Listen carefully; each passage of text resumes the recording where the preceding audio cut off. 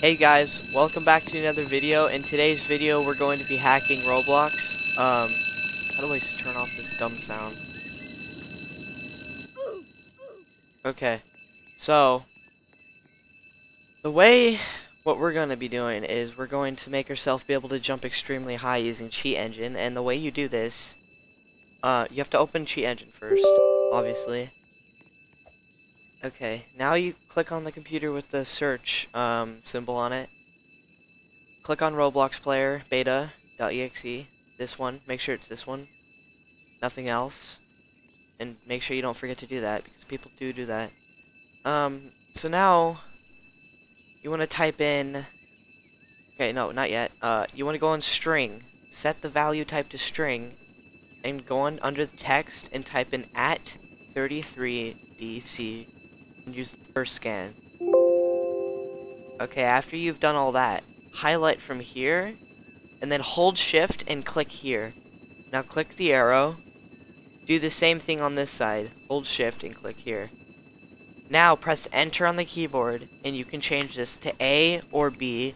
I, I prefer B because you jump a little bit lower, and A is, um, A does this. Basically does this you go way higher. And I prefer B because I don't like floating around all the time. So I choose B. And yeah, you can just go around the map. Escape jail extremely easily. Uh, you can also, I think you can uh, jump on top the jewelry store with one jump with B on. But if you want to get on something high, you could just change it really quick to, um, real quick to A, the A thing right here, if you want to jump a little higher. And yeah, so that's how it works. And you can't change. Um, I don't. I don't know how to speed hack.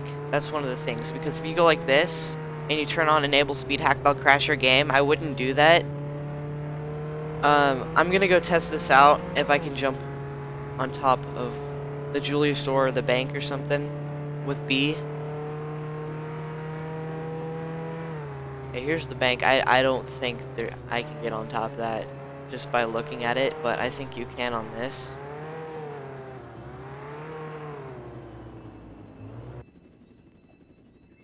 No, you can't. That's why you need A if you want to get on top stuff like that.